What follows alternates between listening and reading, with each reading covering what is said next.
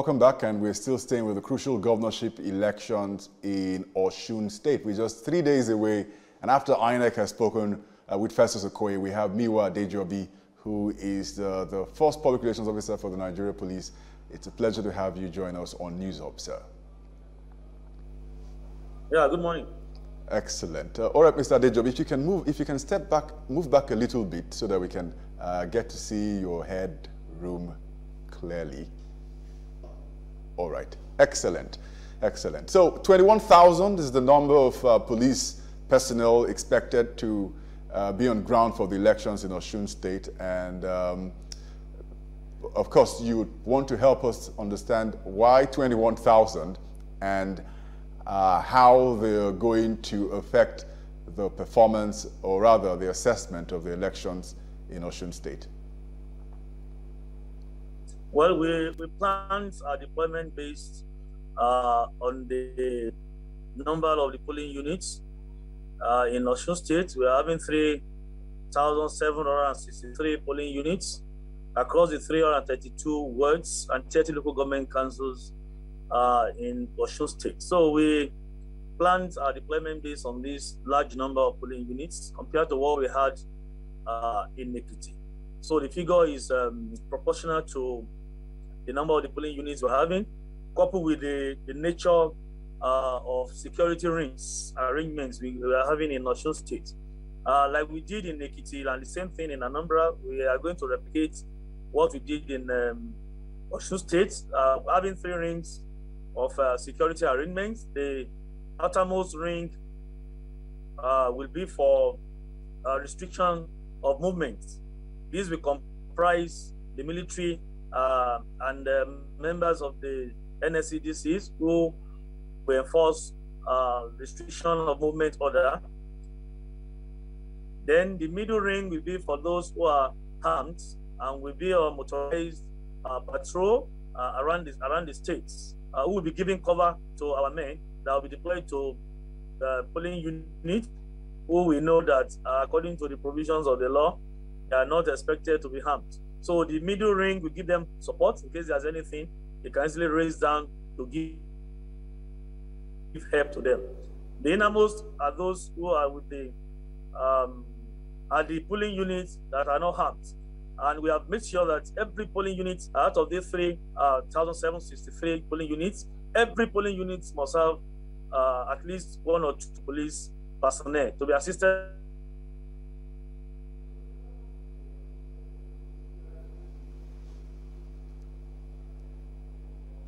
Um, we'll try and get back. Looks like we have a connection glitch. people expect us to put in place uh, to give escorts to sensitive materials, to give escorts to INEC officials, to give escorts to accredited observers, including journalists. You guys have been moving up and down. We expect to provide security for everybody uh, in National State. So, based on the, the nature of uh, this this exercise, uh, that's why we've been able to plan ahead to have these deployments. aside from the human deployment, we have asset deployment. Uh, the IGP has approved deployment of armor personnel carriers, including our choppers and our uh, drones to give support uh, to our men uh, on the ground and uh, to connect our activities to our command and control center in uh, Osogbo. So we, we have done both human and material uh, deployment so that we'll be able to have a seamless exercise come uh, July 16, 2022 in Osun State.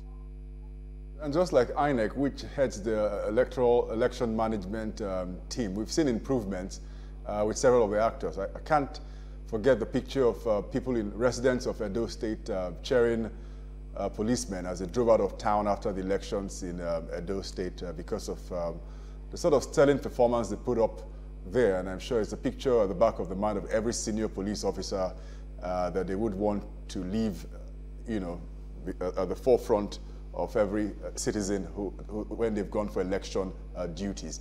But in Osun State, I'm sure that you're thinking also too. Uh, I was listening to the stakeholders meeting yesterday, where the Inspector General of Police was, you know, uh, sounding tough, uh, especially around together with the INEC uh, chair, around vote buying and what they intend to do. Now, I, I'm not, I don't. I'm not sure you're going to disclose to us what you are going to do in dealing with vote buying or voter uh, inducement. But you definitely will want the people to play a role in helping curb uh, this um, electoral menace.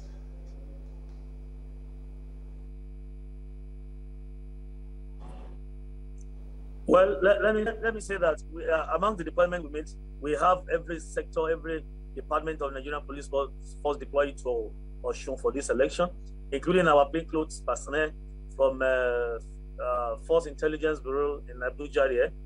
Uh, these are what a Yoruba man in Osun State would say Otelemuye. These are these are the men for undercover operations who will go after those who might want to perpetrate any uh, funny acts, particularly vote buying. We are collaborating with the EFCC. Uh, EFCC too has deployed some of uh, operatives to go to Osun State to go after these people that might want to induce uh, voters. We are mindful of this, and you can see that yesterday the INEC chairman, uh, Professor Mahmood Yakubu, decried this. The Inspector General of Police decried this act too because it's uh, becoming worrisome when we have uh,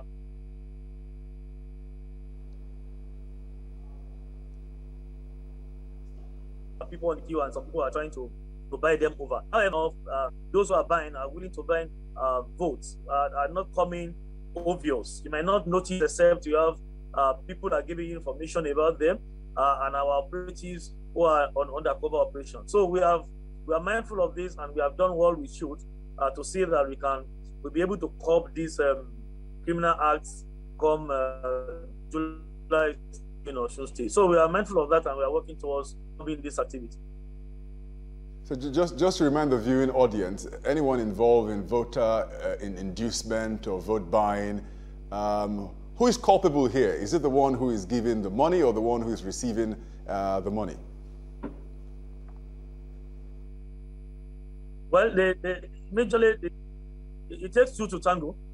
Uh, but for, for the, where the exercise is on, we can only lay out, we're, we're going to focus more on the major man, the major actor is trying, who has the cash to pay to people.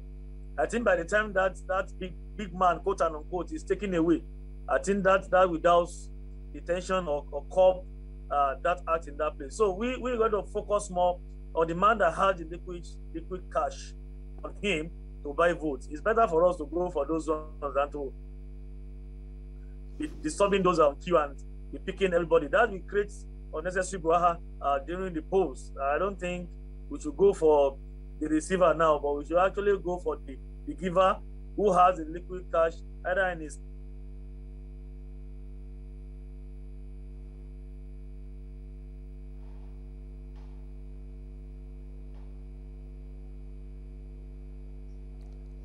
All right. Um, okay, we'll, try. We'll try and reconnect with uh, Muyiwa Dejobi. Raining heavily, you know, also too. So we'll try and see if uh, this connection glitch uh, can be fixed and we can get him back uh, to run us through the process for the Osun governorship election, which happens in three days' uh, time. And uh, quite a number of things he's saying here. The number 21,000 arrived at because they worked the numbers according to the number of polling units where they're going to have to deploy policemen. Talked about the three rings, um, the outer ring, the middle ring, the inner ring, where you have policemen carrying out duties uh, from restriction of movement uh, to what happens in the polling unit where they provide security for the uh, polling officials as well as for the electorate also too. They'll also provide security for observers, the media, and quite a number of people also too. And just before we lost connection with him, he was talking about voter inducement and vote buying. And they're going to be focusing more on those who are giving out uh, the money because it's a thinking that if you get the kauna, if you get the, if you get the big fish, sends a message across quicker uh, than to the ones on the, on the other side. There's still quite enough, a lot for us to cover. Uh, we hope we can get him back uh, so he can tell us and talk to us some more also too about what the police is doing to ensure that uh, violence doesn't show up in and around the polling units uh, during voting and also after voting. Uh, please stay with us on News Hub. We're still looking at the Osun governorship election. In the last hour, we spoke with the INEC uh, Commission on Voter Information and Education.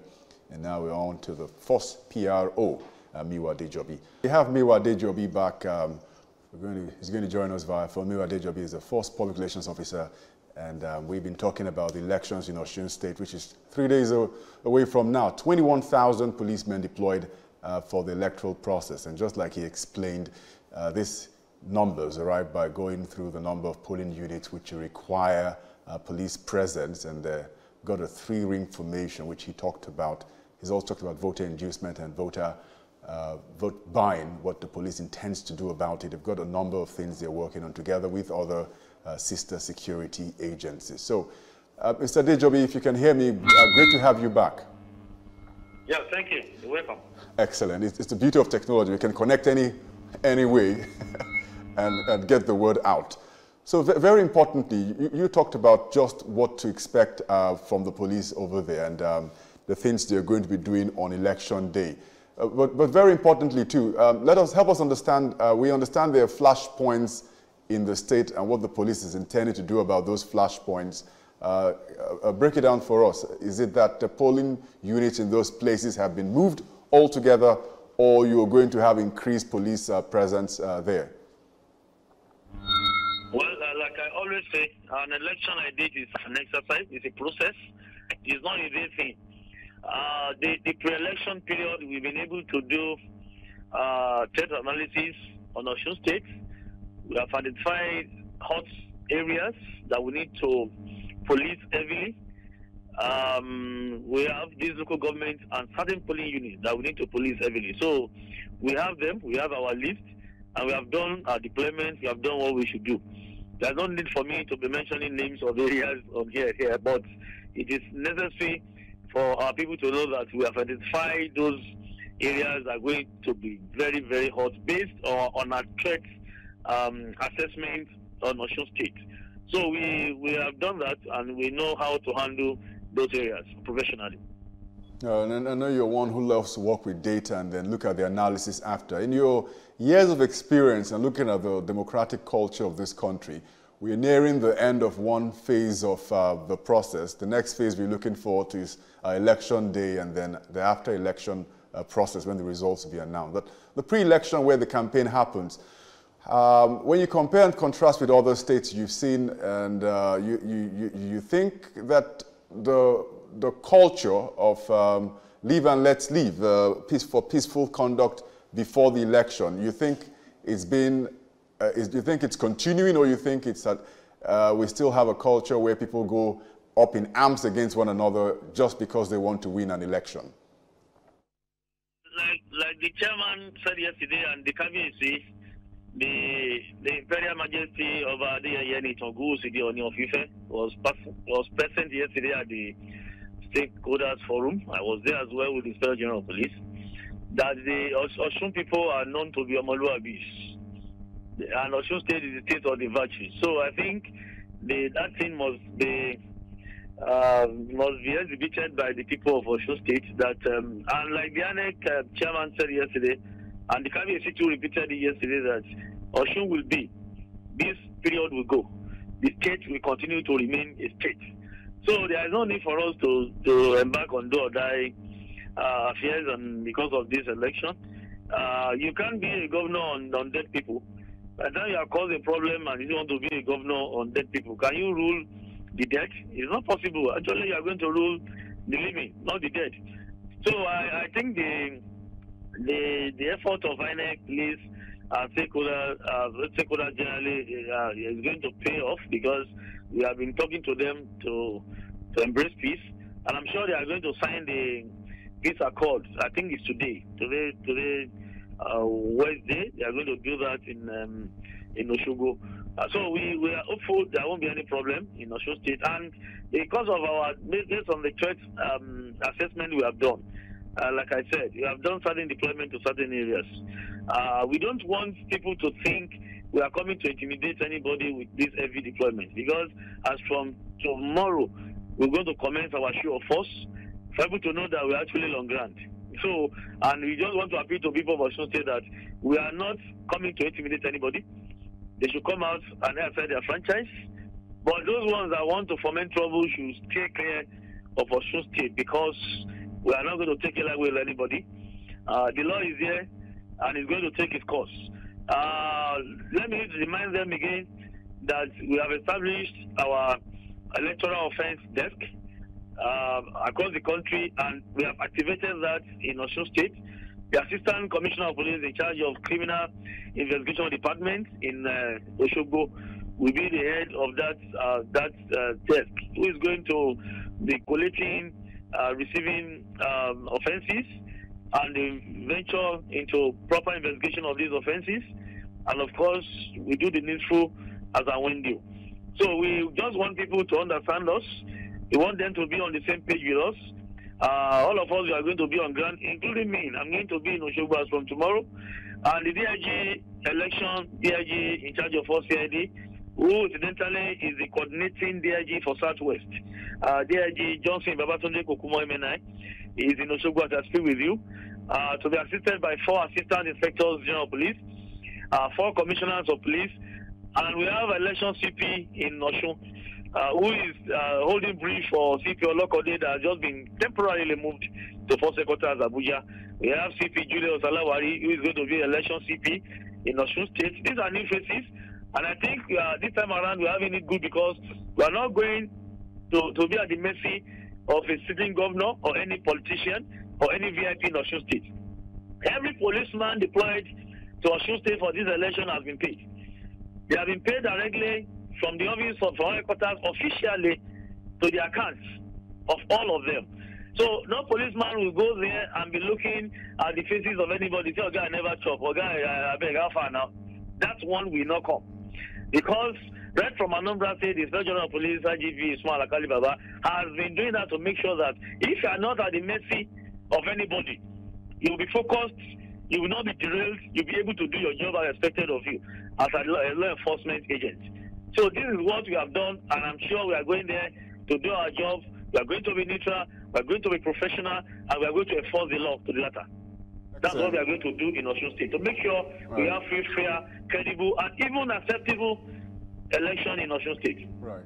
Very, very important point you make, and we hope um, after the elections we can come back and touch bases with you on uh, what your, your frank and blunt assessment has been of uh, the police and security with the election. But before we let you go, one important aspect of the electoral process oftentimes has been the movement of men and materials uh, to the polling unit. We know that INEC has uh, discussions and has arrangements with the road transport workers and how this happens because it affects the, the start of the ballot, which is 8 a.m., and everyone has to be on, uh, at, at, the point there. But how the police going to move from one point to the other point? Has it been sorted out? Um, um, because, um, I mean, it, heaven forbid that we see policemen stranded and not being able to move uh, to the polling units uh, on election day. Well, this time, this time around, like I said, we are planning, we are planning ahead.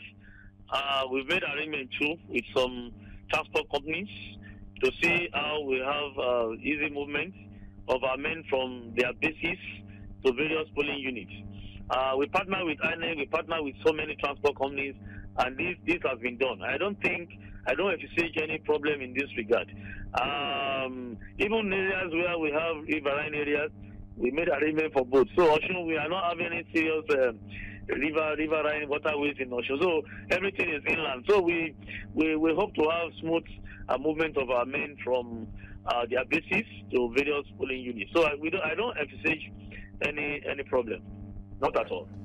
Thank you very much, and it's always a pleasure to have Muyiwa Dejobi uh, speak with us on news of the Nigeria Police Force Public Relations Officer. Thank you very much, sir. Thank you. Enjoy the rest of your day. Yeah. And you too. All right, uh, we have the rest of the show to go. We still have uh, some talk to do with um, Blessing Emeobosa over the crisis in Ukraine and how people are piecing their lives together. Please stay with us on News Hub. We'll be right back.